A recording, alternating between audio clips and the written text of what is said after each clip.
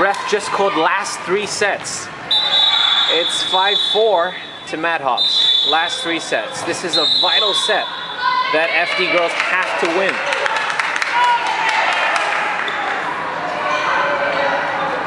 Oh! Kelly goes out.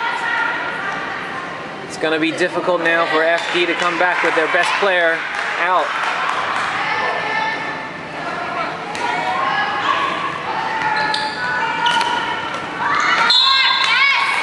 Oh, Lilet gets hit on the shoulder.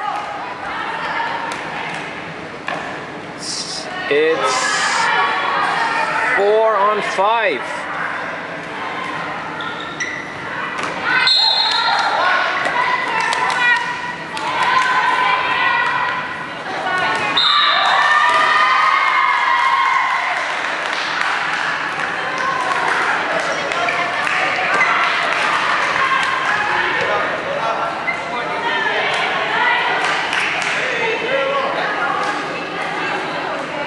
Petra and Kelly need to be blocking.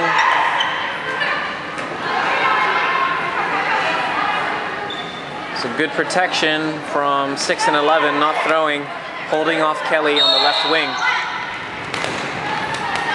Oh, Kelly pushing her right wing back in.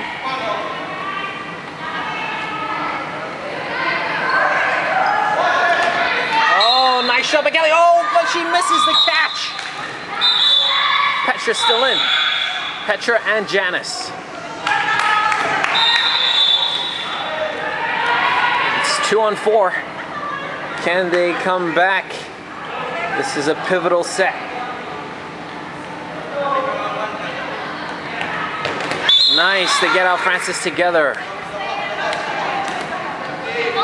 Good teamwork. Two on three. Janice ready for the counter. But Petra misses the block. Still Janice, but she hits it with her left right hand. Score now, 5-5. Last two sets. This is getting intense.